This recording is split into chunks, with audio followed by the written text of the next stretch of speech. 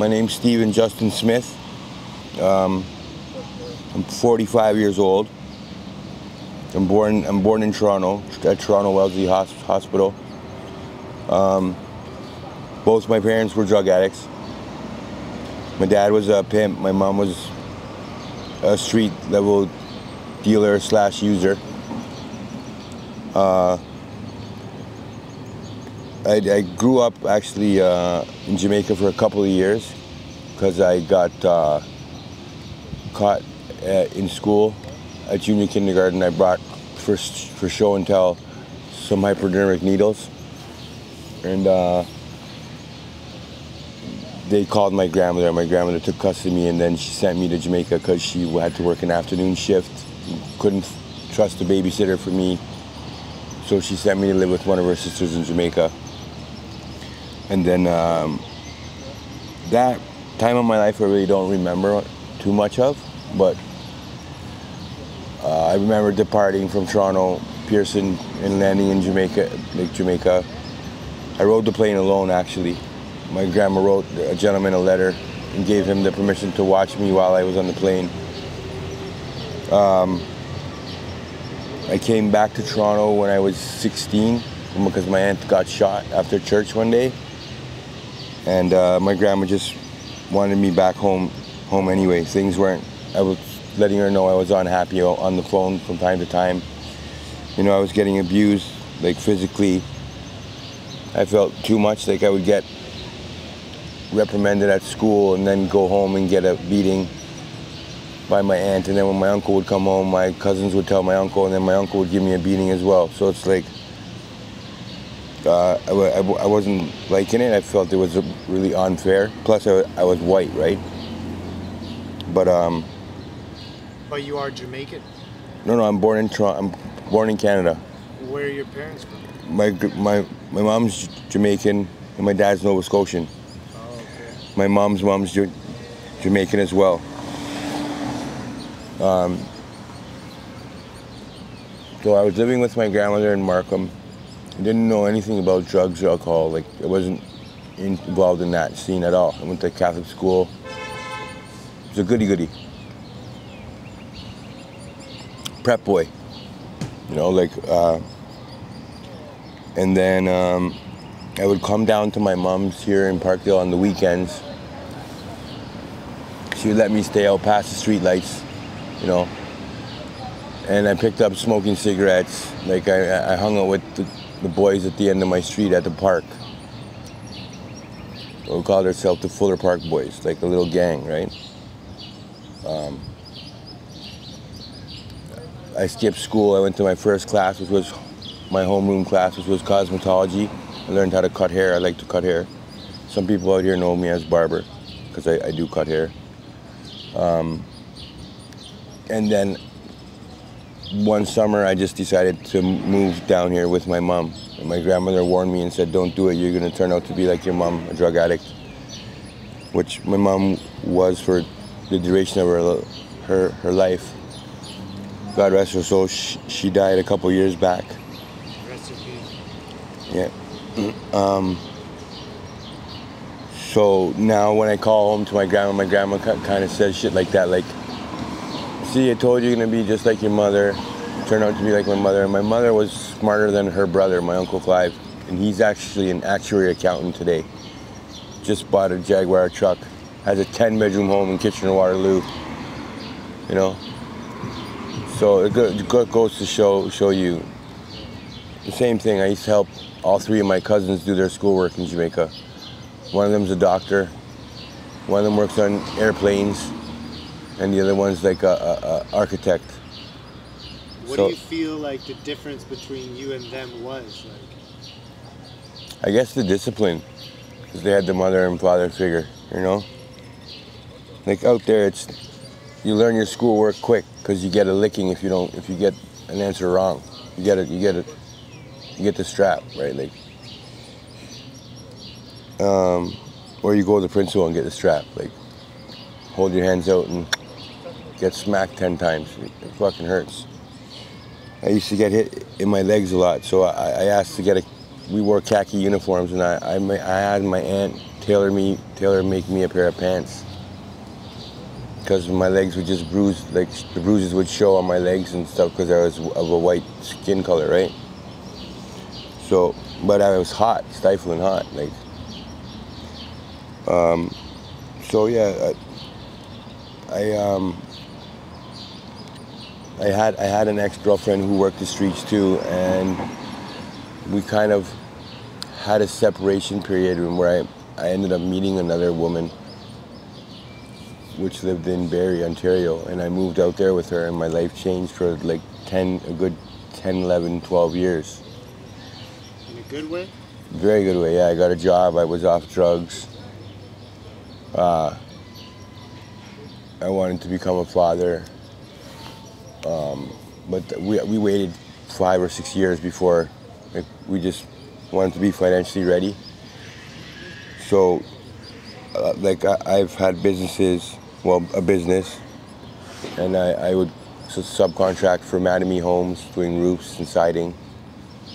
Uh, and one day I just um, not had a, re, a relapse, but I was just doing more and more drugs. That Barrie didn't Barrie didn't have enough drugs for for me, so I, I, I ran down here to Toronto.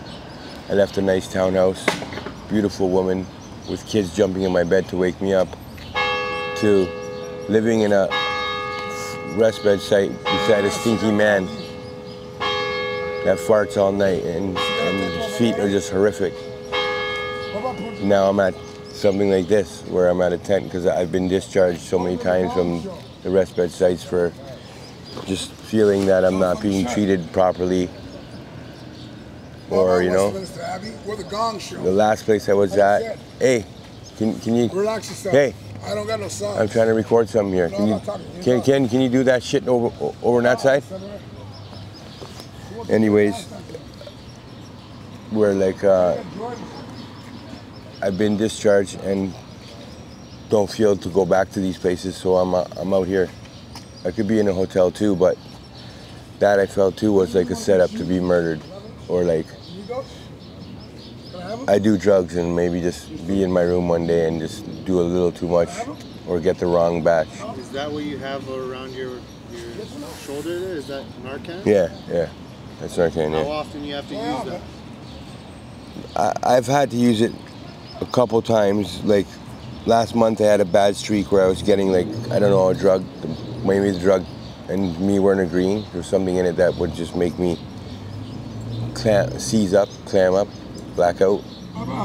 Not really an OD, but yeah, I have I have OD'd before in the past and woken up in the hospital. I'm my own William Shatner. and uh,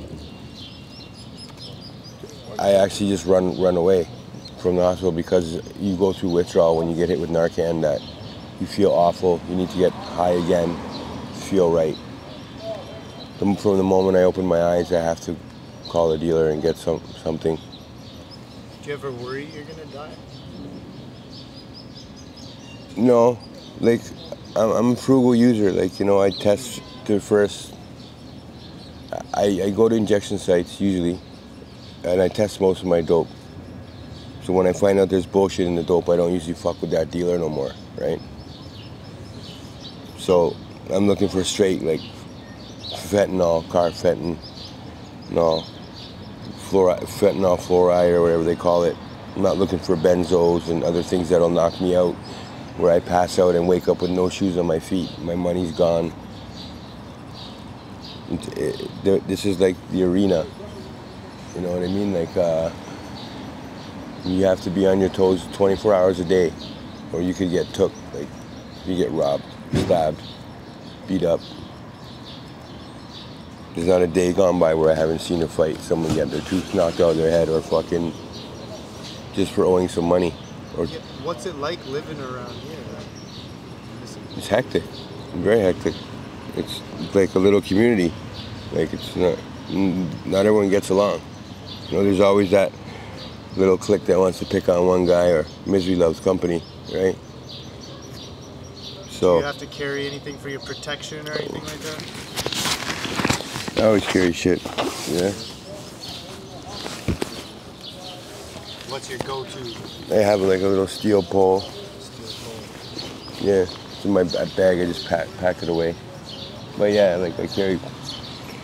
I used to carry knives, but you know, they get stolen from me and shit. So what's like your everyday routine? Getting high. How do you do it? You gotta get money, right? I'm mid, I'm a, I'm a middleman. I know a lot of dealers. I know dealers that not you or him can just go talk to without getting your fucking face smacked off, right? So that's my my little. But then again, I, I know people that I can give my money to, like certain women that will get me a lot more from their dealer. But it's just not the greatest shit, right? Or or you get fucked over in the long run, like you get promised your seven grams, but they come back with four. You know, like, you want it done, you gotta do it yourself. What about the barber shit? Mainly, I do that shit usually for free, but I do have a couple regulars that pay. Other home, other homeless guys too that pay, like. But um, most of them I just it's not a set price. They just give me what they have, or I get gifts, like you know barber rep stuff. Trade off. Yeah, like a mirror or So a lot of bartering goes on. Like these, you know, so nothing's bought up with straight up cash really. It's always trade and barter. It's the word they use, barter. Like trade you two pairs of shoes for two cool hats or like there's a lot of if you if you really dig down in some of these tents, there's some really expensive stuff around here. Like I'm talking signed hockey cards to jerseys that people find in the garbage. Just simple artwork, a simple tin. So, if you were to give advice to somebody younger than you that was in a similar position as you, what would your advice be?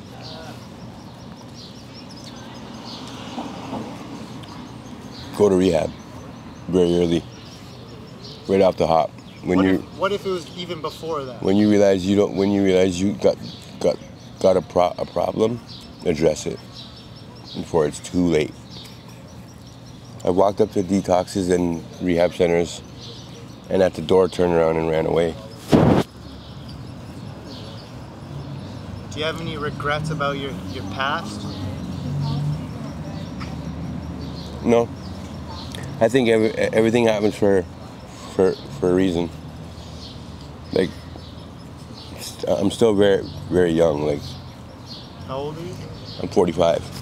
Like there's still lots of life ahead of me. You What do know. you see for your future? Uh, Or what do you want? I think I think I'll be back home by next Chris by next Christmas. Like I'm on a waiting list now for for a rehab out in Aurel- Orillia called Seven South. And I'm gonna go. Like I have a, a social worker that sh- she'll get the call and then she'll come get me. And it just it just happens, right? And then I know from then there to be a, wait, a waiting process. Once I call my girl and let her know I'm in treatment, she'll be like, call me tomorrow, you know, like, and she'll go through it with me. Probably pick me up at the door in the nine months when it's over. That's love. Cause yeah, I do need a stable place to live when I get out. Mind you, I have it has happened up that way as well, but uh, So let's I don't know. My, I'm a father now. My kids fucking. I miss my kids bad tremendously. So if you have a message for them right now, what, what would you tell them? Mm. Don't ever make a nickname called Da Vinci. Because you never break the code. You know, like, just, just don't happen. You're not to be that Scarface you watch in the movie. You're not to be the big pun that got killed. Like, everyone's different in their own way. Everyone has their own life, their own path. You got to do what you want from your heart. You can't follow somebody like that. Yeah, you can have somebody that you look up to like Superman, but I would hate for a child to walk by and look at me and say, think, hey, he wants to get a tattoo like me, or like I couldn't, I couldn't be that guy. Like, you know, like yeah, I probably could have been a pro athlete. I played hockey. I was fucking yanked off a house league team to play for a rep team that my grandma wouldn't even let me play on because it was too many days a week and she wanted me my nose in the books than on the ice. But the, the coaches came to my door and was like, we'll pick him up. We'll drive him. You know, no cost. That, that shit was thousands of dollars. My grandma just scraped together $230 for me to play house league for the year. You know, like I remember I played it a season without elbow pads and chest pads because I didn't couldn't afford them. Didn't have the money. So, like, you got these guys, uh, and nowadays the drugs is getting more social. Like crystal meth is smoked on the regular in the open. Marijuana is now. It's not two days go by where I can't smoke a joint. I can find two big roaches on the ground and there, there I am. I'm, I'm smoking a, a joint. Or go to a spot where guy, I know guys smoke frequently and they drop all kinds of bud. And that, you know, so everything's getting very social. How often do you use? Like, how much do you spend a day on drugs? Hundred bucks, That's a good amount of money that if not more. If, if there was more around, I'd probably spend more. Right? I, I can make that in 10 minutes. Right? Like, but I can also spend it in two, 10 seconds. Right? So what do you do for like food and showers and clothing? Showers and clothing. I, I like use drop-in centers or, you know, sometimes I luck out to get a condo check for a night. Who knows? Right? Some, you know, there, there's some caring women out there. Like, And when's the last time you spoke with your kids? uh, I'd say a month ago. Month. Yeah. Not bad. How I was I was actually up there prior to that. Cut, I gave them both haircuts. nice. hmm And then um, we were supposed to do a Ripley's thing, but you know it's tough for my my my girlfriend. Like it's a long drive. It's a, it's a money too. Or one of them doesn't want to come. You know, like my my daughter is is kind of uh, doing a lot of alone time now. You know, oh I hate you to her brothers and it's going through that phase. But I told my girlfriend the same thing. I was like, hey, you did the same thing with, with your brothers when you met me. So this was the first Thanksgiving too. I didn't go home. How did that feel? It was terrible, terrible. But I don't know. Just because I'm, I'm embarrassed. Like I know I feel I feel malnutrition. Like they can tell. Like my my grandmother, my girl's grandmother will be like, "You're skinny in the face." So, Yeah. but yeah, You got any message for the people? no, not really. Just they're, I don't know. Don't be so judgmental and send support if if you can. Like, I see a lot of these stores throw stuff out at night that they could just come run over here or even run into a guy in the corner. a lot of you know people don't just say hi anymore. You know. So tell people where they could find you if they want to come find you, give you anything, or help you out. I'm usually I'm usually in Chi- in Chinatown, Augusta, Spadina, Dufferin and King. I grew up in Parkdale, so I um, I always go back to my roots. Like So what kind of shit were you doing as a kid in Parkdale? I, then I was just playing basketball at the rec center, selling crack. Uh, I started smoking crack too, How but but like only like I'm on like party nights, you know, like my boys would snort coke and I would smoke some rock. you know. But I'd, I'd have to, I'd have to hide away and do it though, because they did they were against that shit, right? but um, yeah, that's basically all I did then. Played basketball, sold crack, hung out at the park. Park. In the in the winter, I would go to Dufferin Park and play ho- hockey outside. I'm a diehard ho- hockey player, man. Like, I'd even have the people come and ask me to wrap it up, like, because I'd, I'd sneak on the ice and I'd just be too loud. There's a building right beside it, right? Night.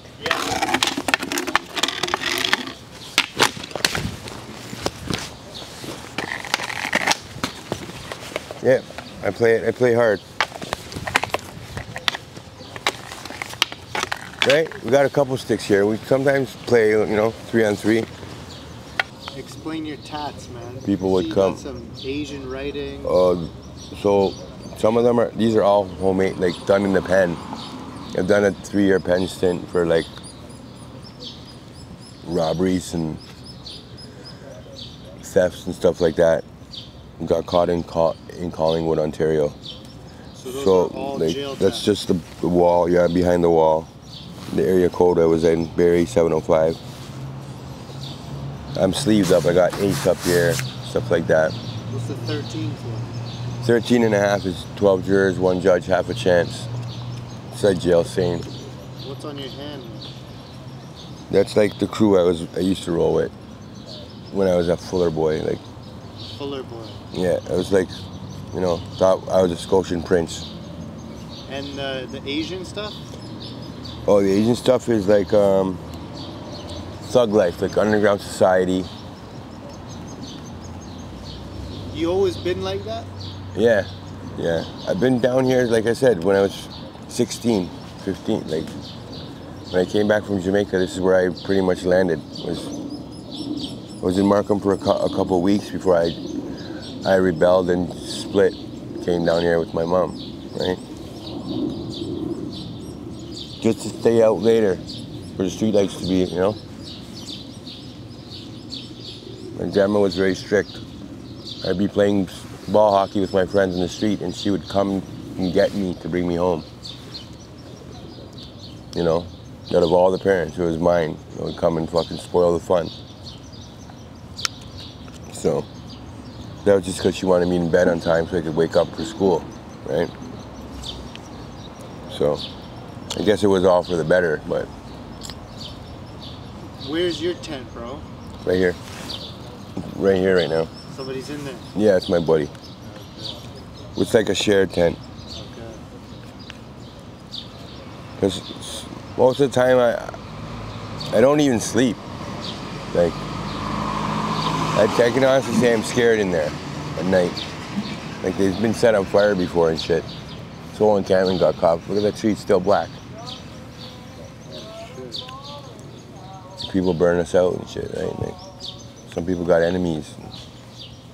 We all have to pay. We all get, you know.